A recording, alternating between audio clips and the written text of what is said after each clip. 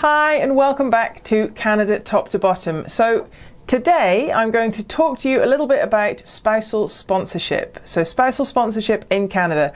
Um, I'm going to talk about the requirements for both the person who is sponsoring and also the person who is being sponsored. So, the person who is sponsoring is the person who's in Canada. So, either a Canadian citizen or a Canadian permanent resident. The person who is being sponsored is the principal applicant who is not a Canadian citizen or a permanent resident, but you are sponsoring them for permanent residency in Canada. So, this person can either be your spouse, it can be your common law partner, it can be your conjugal partner, or it can also be a dependent child that you are sponsoring for permanent residence in Canada. For more information on the definition of any of these things, please click on the link in the description box below. So, uh, the reason why we're going to talk about this today is because spousal sponsorship sounds like it should be quite simple. Um, you just sponsor your spouse to come to Canada to become a permanent resident, but it's not simple at all. It's it's it's a first of all it's lengthy. It's a lengthy application process. It's um, the current processing time is 16 months for sponsoring a spouse who's currently living outside of Canada. So it's a long process it's quite complicated and the process isn't always that clear. It's not 100%, it's not crystal clear exactly what you need to provide, exactly what the person being sponsors need, needs to provide. It, it can be a little bit confusing. Um, the thing about a long processing time is if it takes 16 months, it could be longer. It could be shorter, it could be longer. That's just the average processing time. So if it's longer, who knows? It could take a year and a half, it could take up to two years. If your application was not completed correctly at the beginning, it may well just be returned to you with unsigned documents, with missing documentation, with other things that they are requiring. And then your whole processing just starts all over again. So it's very, very important to get it right the first time. Now, the really big thing about spousal sponsorship or sponsoring your partner to Canada is it's very, very highly scrutinised. It's very highly scrutinised because Canada is very wary of essentially shotgun marriages. People who just get married to a Canadian permanent resident or a Canadian citizen just for the purpose of gaining permanent residence themselves. It's quite common, and visa officers are very aware of it and on the lookout for it. So, a spousal sponsorship application will be highly scrutinised, not just for have you completed all your application forms and provided all the required documents, but can you prove that your relationship is genuine? So that's what's that's what's really highly scrutinized. How genuine is your relationship? So documents which are going to be required. So first of all for the person who is sponsoring, so this is the person who is already a Canadian citizen or permanent resident, the, the main thing you need to provide is proof of that. So, your permanent resident card or your Canadian passport to show that you are a Canadian citizen. Um, the other thing that you need to show is to sponsor a spouse to for permanent residence in Canada, a spouse or a partner. You don't need to provide proof of income. There is no income requirement. However, you do need to show that you have uh, enough money to support the person so that they won't have to use um, benefits, the benefit system in Canada. So if you're employed, you need to provide your employment documents, your, your proof of employment, your pay slips, your tax assessment from the CRA, all the documentation to show that you are currently employed and earning. Um, you can also sponsor your spouse if you're not working, but in that case, you will need to show that you've got savings. You will need to provide a bank account to show that you've got um, savings. There's no specific amount of money like there is for other applications where you have to provide a certain amount of money, but you do need to show that the person that you are sponsoring is not going to be using the benefits system of Canada. Um, so for the person who is being sponsored, of course you'll need you're going to need to show ID, passport documents, etc. You'll also need to show a police certificate and this is for anybody over the age of 18 for any country that they've lived in for more than six months. So their country of residency or citizenship will be the obvious one, but if they have lived anywhere else for six months, they'll need a police certificate for that place as well. The other thing they'll need is a digital photograph, so passport photo with the correct dimensions, and also a medical exam. So anybody that's coming to Canada to live permanently needs to needs to provide proof of a medical exam. Um, so that brings me on to the most important part of this application to sponsor your spouse or partner to Canada proof of your relationship. Can you prove that you're to a visa officer reading your application that your relationship is genuine? Now, just providing your marriage certificate is not enough. You may have got married yesterday. You may have got married last week or last month. The marriage might be brand new, which is the case for a lot of people. They get married and they then want to sponsor their new spouse.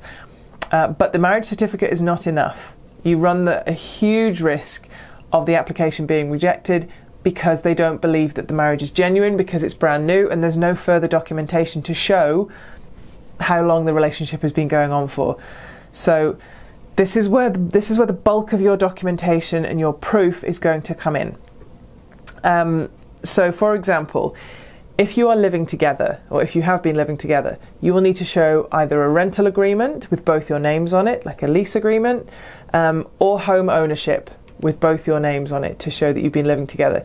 If you don't live together, then you need to show why. So, for example, are you separated because of an immigration barrier? Um, or, you know, whatever the situation may be, why aren't you living together? And in that case, you need to show proof of contact between the two of you. So, proof of contact, like have you flown to see each other? Have you got those flight tickets? Um, have you um, have you been in constant contact through phone calls, through text messages, through video calls, whatever that may be, through emails? You need to show proof of these things. So, it's not it's not necessarily a designated set list which is the same for every single application. It's going to be individual to your specific situation depending on whether you're currently living together, whether you're living in separate countries, how long you've known each other, how far back you can date your relationship. So, things that you'll need to show are evidence of financial support between the two of you. So, do you have a joint bank account? Um, do you transfer money to each other to support each other financially? Do you have evidence of adding your spouse to your health insurance once you got married? For example, you can show the documentation for that. Um, and then things like photographs. You will need to provide photographs as far back as you can possibly go. So, if your relationship started five years ago, have you got photographs from when you started dating, when you when you first got together? Any trips you've been on? Any um, any times that you met each other's family, any times you went to visit each other. So, how far back can you date these photographs? And what you'll need to do is show evidence um, in the form of, you know, put it all together in a document and say, in this photograph, these are the people in it, and this is what's happening. So, it, it really goes that detailed, it really goes into that much detail, showing exactly who's in which picture, how long ago it was taken, the date it was taken, where you were, those kind of things. So, um, Photographs not just of the two of you, but two of you with your family and friends, showing that your relationship is recognised by your family and friends. Photos of your wedding, if you are married, if you're not common law partners. Photos of your wedding, photos of your engagement, any formal documents, um, invitations, anything to show that it was a genuine wedding, with um, you know, with uh, with your guests, with the, outside the church, in the reception showing that it was a it was a it was a you know a genuine wedding. It wasn't just the two of you on your own. Um, so, social media posts is another huge way of proving your relationship these days. So, Instagram, Facebook, whatever it may be, social media posts are great because they're time stamped. You can screenshot your social media post and it will have a day and a time on it. It will show exactly when that was posted and it's very useful because it can show friends recognize friends and family recognizing your relationship so commenting on your wedding things like you know congratulations you guys it looks like a wonderful day screenshot it and include it in your application Um, so social media posts, messages, proof that the, relationship is sanctioned by your friends and your family, that they're you know they, they welcome it, they, they, they know about it. Um, other things like proof of contact. So you would actually send you can send phone records highlighting all of the phone calls that you've made to each other. Uh, things like WhatsApp is very useful because you can go back and screenshot all of the phone calls to and from the incoming and the outgoing phone calls. Um, screenshots of when you've had video calls together, again with a timestamp on it, is really useful. So if your relationship is 10 years old, if you met 10 years ago, then you don't need to show IRCC officers do not want to see hundreds and hundreds and hundreds of text messages, but what they want to see is here are some text messages and photos and whatever it may be, video calls, contact from 10 years ago. Here's some from seven years ago, here's some from four years ago, and here's some recent ones. So, you know, all the way through.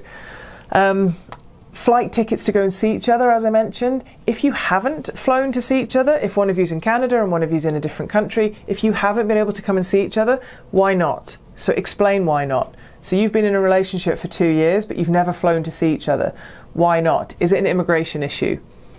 So is your spouse, are you in Canada? Is your spouse in a different country and they've tried to get a visa but have been denied to come to Canada? Show evidence of that. My spouse tried to come to Canada and visit me, but she was denied her visa, and here's the evidence. Otherwise, she would have come and visited me.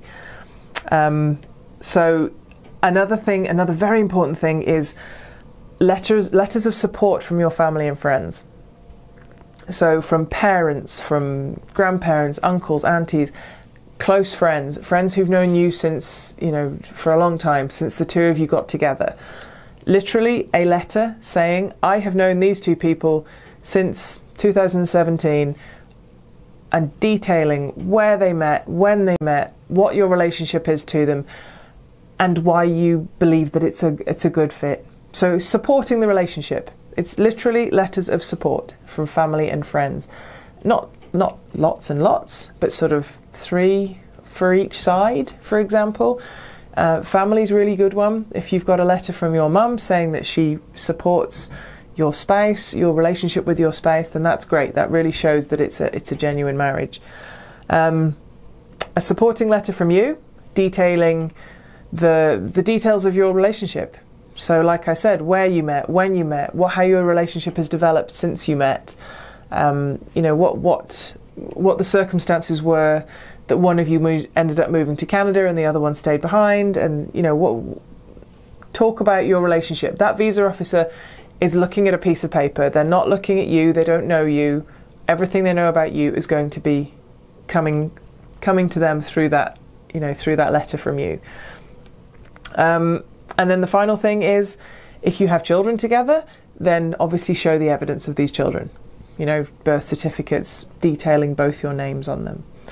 Um, so, yeah, there is a lot. There is a lot to do when you are sponsoring a spouse. And as I said, it's highly scrutinized. It can be it can be quite a complex process, and what you don't want is months and months and months and months and months of processing when your spouse isn't able to come with you. So, this whole processing time, you're separated for a lot of people. You want it to be done as fast as possible, and the last thing you want is for it all to come back to you and say, We need more documentation from you. This wasn't completed correctly. Because that's just heartbreaking, because then you have to just do it all again and send it back and start, you know, start your processing time again. So, it can all take a long time, but it's absolutely worth it because if you are a permanent resident or a citizen of Canada, you are absolutely entitled to sponsor your spouse or your partner to come for permanent residence in Canada. So just do it right, would be my advice. Make sure you do it right the first time. Um, you know, gather everything together. If you need assistance from a professional, then by all means book a consultation talk to somebody about it before you start this process because doing it right is very, very important. Um, please let us know if this is something that you're considering, and we'd love to hear from you. And yeah, any questions, please get in touch, and we'll see you next time on Canada Top to Bottom. Bye.